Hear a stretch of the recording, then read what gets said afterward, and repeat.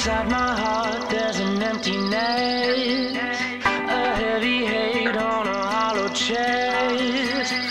So spoken like a disease is the way to incomplete me. Pagi. Pagi. Nah, di belakang kita ini udah lihat dong, ada meja yang bagus banget, yang unik. Apa namanya? Church of the Good Shepherd. Nah, betul banget. Dan memang ini ukurannya memang kecil. Nah, tapi yang masih digunakan ya? Is this the low or is this the I'm teman New Zealand. My trip. My adventure.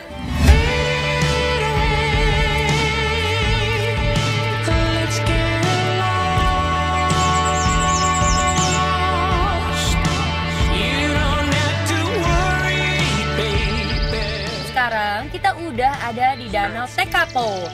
Danau yang tadi sempat kita bahas di segmen sebelumnya. Langsung aja kita explore danau cantik ini. Kalau dilihat sekilas, danau ini punya pemandangan yang gokil banget nih bro. Karena dikelilingin sama jajaran pegunungan Southern Alps yang bakal membius mata siapa pun yang datang ke sini.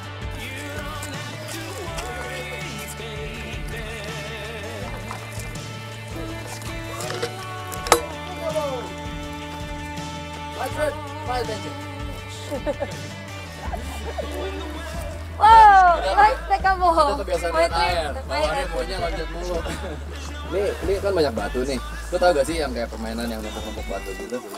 Em, sebenarnya itu permainan sih. Ada yang anggap itu permainan, ada itu sebagai kayak ritual. Oke, ritual juga ya. Iya ritual. Jadi kayak kalau kalau gue lihat tuh kalau beberapa kali kita ke pegunungan ada tumpukan batu itu ngasih Iya, tahu iya, untuk iya. kayak pendaki lain lewat sini loh jalurnya sama eh, good fortune terus Iya, iya. eh, good luck for the journey kayak Terakhir gitu. gue liat tumpukan itu banyak waktu itu di, Di mana? itu, di Budi Lawa Darat. Di Kayak banyak Lawa Darat, ada ya. satu jalan gitu. Iya. Nah, coba kita pakai. Sekarang kita turun, kita buat lu, lu buat sendiri, gue buat sendiri. Boleh, kita Ya. tinggian nih coba banyak. Waktunya dari sekarang 5 jam. Aja bangun rumah. If you want it, you can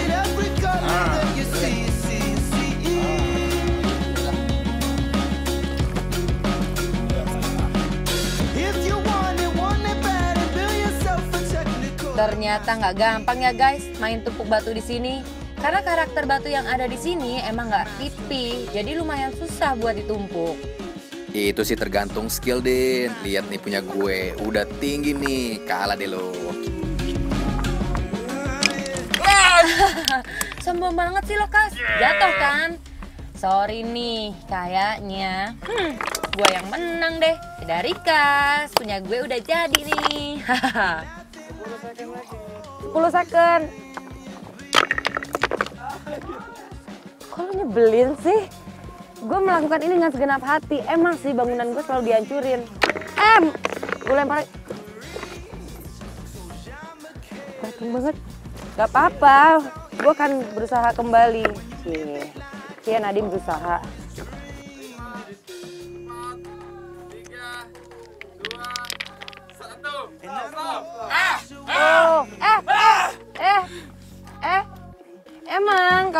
Curang tuh pasti selalu kalah. Gak boleh lanjut. Enggak, enggak, enggak. Jangan, jangan, jangan. Udah kalau kayak gini lo harus kasih satu yang bagus, kayak energi yang positif. Jangan dihancurin, jangan dihancurin dong. Jangan dihancurin dong, jangan dihancurin dong. Nah, lo harus lihat tombolnya tuh. Lo ada berapa batu? Satu, dua, tiga, empat, lima. Gak bisa, eh, itu sih ludah lo.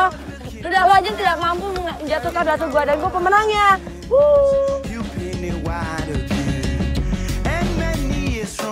Dan ini dia yang spesial dari Danau Tekapo. Sunrise, sunrise, woo! Meskipun sekarang menunjukkan pukul 7 pagi, matahari di sini baru aja muncul guys. Unik kan? Tuh, Wah. eh tuh lihat tuh tuh. Nih, hadiahnya udah dapet sunrise tuh di Rektor Kapo nih. Nggak tahu tuh sam, oh, pas banget ya keluar.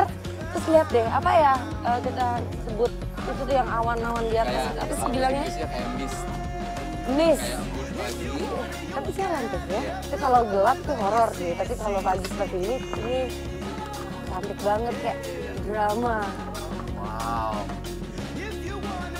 Keren nih. Bagus ya. Oh iya, dan ini lihat nih, lo nggak ada awan yang kayak berarakan itu yang panjang ya. Nah, itu ada istilah yang dan ini terkenal banget di New Zealand. namanya Aotearoa.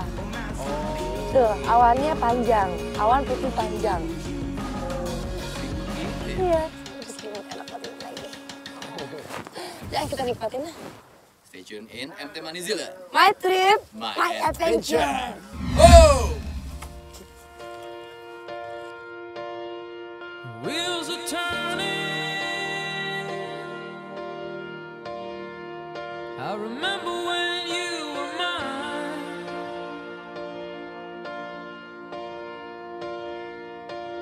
just to reach you, baby, I stand in line. Dan pagi ini benar-benar perpaduan yang pas nih guys. Langit yang cerah, matahari yang muncul begitu cantiknya bikin danau Tekapo ini semakin berasa spesial buat gue. MT New Zealand. My adventure. And there's another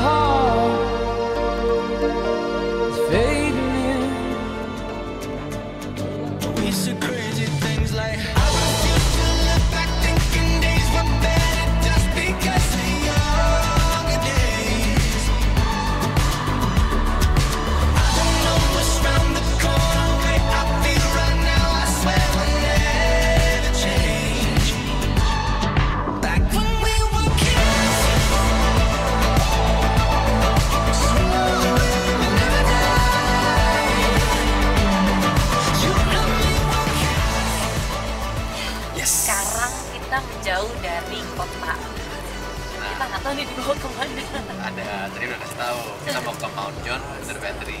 Tapi memang memang rada jauh ya. 5 menit sih, 5 menitan. Tapi dari tadi nanya terus nih. Nah, itu dia. Nah, inilah perjalanan kita. Kita mau ngapain? Hehe, nanti dulu. Kita lihat. Aja yang satu ini, MT Manizila, My trip. main deh. When you take that jump, you don't feel the fall. Hope when the water rises, you build a wall. Bintang mana nih? Bintang gua di sini. Sini, di sebelah sana. Bintang gua ada tiga tuh. Oh, Yang oh bintang tuh, lagi jalan-jalan, Tuh lagi jalan-jalan tuh. Wah, gila banget deh. Wah, udah jutaan nih. Iya, bisa dihitung coba bisa hitung kan? Oh, hai guys. Hai. ada di Mount John Observatory. Nah, di sini nih dengan mata telanjang kita udah bisa ngeliat nih ada jutaan bintang-bintang di sini. Gila, keren banget deh. Dan pas banget di sebelah kiri kita ini ada ya, Milky Way ya. Jadi mereka tuh sebenarnya jalan tapi tipis banget ya Hmm. kelihatan. Nah, kita beruntung banget nih kita berdua di sini dikasih kesempatan pakai lampu, tapi waktunya cuma sebentar. Ah. Berapa tadi dikasih waktunya? Iya, lima menit aja. Jadi ini kita kesempatan nih kita ingin sedikit sharing, tapi lebihnya menikmati. Dan kita cuma dikasih mana nih lampu merah nih, Iya. red light. Nah, itu ini ada harus mati yang ini ada nih. alasannya tuh kita nggak boleh pakai lampu putih karena memang supaya nggak mengganggu aktivitas astronomis yang ada di sini. Jadi di sebelah sebelah kita dan sekeliling itu banyak kayak teropong-teropong gede yang Ini tadi di kita lihat ya. kiri kanan, terus juga memang di sini sering banget jadi tempat penelitian. Nah coba kasih lihat tadi tuh. Nih, Coba dinyalain. nih kayak gini nih. Tuh. Iya, segini hilang. Lampunya Iya. segini doang. Iyalah kalau nggak, soalnya karena kan memang Nih, mata harus di adjust juga kan. Nah, nah Oke, jadi Oke. ini nggak bo- nggak boleh lama-lama. Kayaknya Ya. waktunya udah habis. Jadi kita harus matiin lampunya putih. Kita hanya bisa pakai lampu si lampu merah ini. Oke, jangan ke mana-mana. Stay tune in MT New Zealand. my trip, my, My adventure. adventure.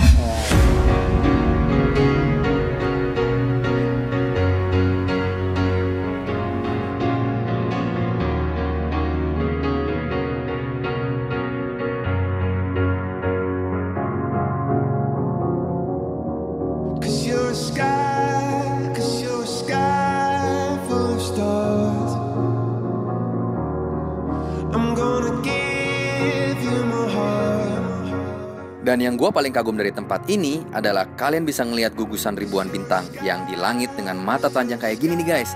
Benar-benar luar biasa ya. Nah, jadi tuh di sini eh, yang terkenal banget namanya bintang Southern Cross. So there's another one that's very famous, Penville round the world, Mhm. which is Scorpio. Oh, which is one okay. zodiac. The zodiac. Scorpio. Yeah, exactly. So if you start over here, ikutin tuh. It's got the two eyes, Ya. and you have a pincer up here, and the the other one goes down there. And then if you go back this way, you go through there, up, Tuh, round, bintang. loop round, and you have Betul, a little betul scorpion stinger. Oh, iya. That is the big Nah, itu zodiak Scorpio Jadi tuh. ini tuh persis di depan kita ini kelihatan ya kayak ada titik-titik yang nyerupain Iya, sama bintang, bintang Scorpio. Jadi Scorpio. kayak eh, Kayak ada capitnya tuh di sini. emang ada jumlahnya sih kalau untuk Scorpio itu ada jumlah eh, jujur gue nggak tahu berapa titik yang ada nih bintangnya. Nah, itu kayak ada dari situ Tapi Scorpio tuh selalu berada di bawah dibandingin bintang-bintang dan itu uh, kayak zodiak yang lain. dan itu kayak ekornya tuh. Nah, jadi Ah. sedikit bentuk S tapi nggak sempurna. Oke, oke, oke, oke. Itu dia guys, benar-benar sebuah pengalaman yang nggak bakal gue lupain nih guys. Melihat gugusan bintang secara lebih dekat. Pokoknya kalau kalian ke New Zealand, harus banget ngerasain sensasi stargazing nih di Mount John Observatory ini.